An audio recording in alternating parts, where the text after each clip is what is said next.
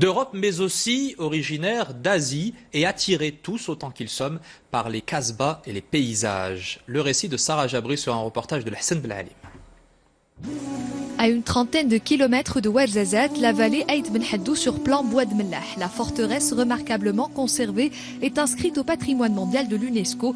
Classée parmi les sites les plus visités du sud marocain, la vallée accueille en toute saison des touristes venus des quatre coins du monde. Je suis venu d'Espagne avec une amie pour visiter la région. Le village est magnifique, j'ai apprécié tout ce que j'ai pu voir lors de la visite.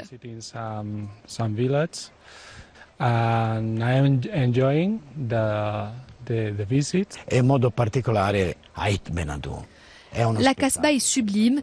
Je suis impressionné par tant de charme et d'authenticité. Le lieu est chargé d'histoire et c'est d'ailleurs le cas pour toute la province. Le potentiel de Ouarzazate s'illustre aussi par ses musées du cinéma où se déroulent la plupart des tournages étrangers au Maroc, des lieux qui boostent aussi l'activité touristique dans la province.